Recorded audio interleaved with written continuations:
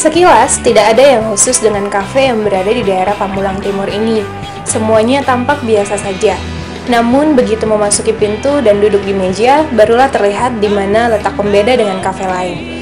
Beberapa saat setelah kita duduk, kita akan disodori buku menu dan satu lembar kertas berlaminating dengan tampilan kumpulan foto-foto dengan gerak tangan yang berbeda. Lembaran inilah yang memberi jawaban mengapa kafe ini diberi nama Finger Talk. Jari bicara. Ya, lembaran tersebut merupakan panduan bahasa isyarat menggunakan jari. Seluruh pekerja di kafe ini memang penyandang tunarungu, mulai dari pelayan, juru masak, hingga kasir.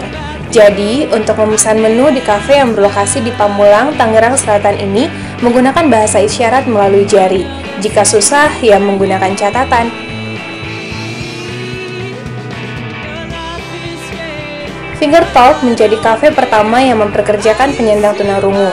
Akan tetapi, pemilik kafe yang didirikan pada 3 Mei 2015 ini bukanlah seorang penyandang tunarungu.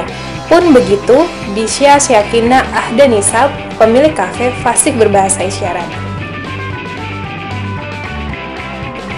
Disa memperoleh ide Finger Talk sepulangnya dari menjadi relawan di Nicaragua, Amerika Selatan tahun 2013.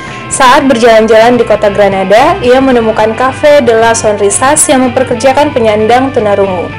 Terinspirasi dari kafe tersebut, Disa berniat mewujudkan kafe serupa di Indonesia dan memberikan kesempatan yang sama bagi penyandang tunarungu di Indonesia.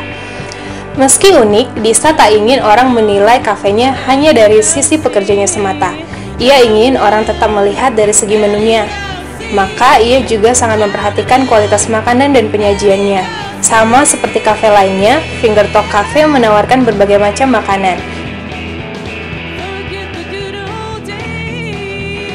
Selain menjadi kafe, tempat ini juga menjadi base camp berkumpulnya penyandang tunarungu, terlebih pada Sabtu dan Minggu.